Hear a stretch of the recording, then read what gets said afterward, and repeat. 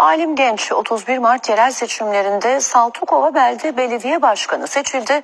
Asıl mesleği pazarcılık olan Alim Genç hafta içi makamında hizmet veriyor. Hafta sonlarında pazardaki tezgahının başına geçmeye devam ediyor. Pantolon 50, pantolon 50, pantolon 50. Tekin 25 yıl geçimini pazarlarda kıyafet satarak sağladı. Şimdi ise belediye başkanı. Ama semt pazarlarını da unutmuş değil. Pantolonlar 50'ye indirdik abla. Bayramda giysin vatandaş. Vatandaşlar bize pazarda sevdalandığı için, pazarcı olup oy verdiği için de yine aynı mesleğimizi gururla devam ediyorum. Zonguldak'ın Çaycuma ilçesine bağlı Saltukova beldesinde sandıktan galip çıkan aday Alim Genç oldu. 21 oy farkla belediye başkanı seçilen Alim Genç, seçim yarışına girmeden önce semt pazarında kıyafet satıyordu.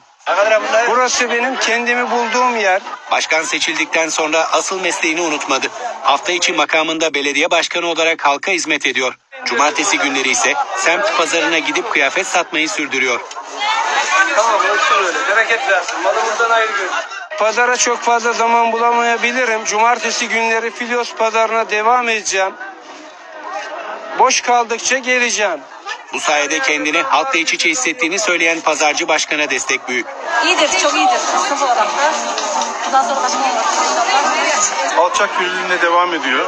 Hiç yine ben başkan oldum, şöyle oldu, böyle oldu. Yok aynı şekilde alçak gönüllü halkın içinden, halkla iç içe yaşayan, her soruya cevap veren bir başkanımız.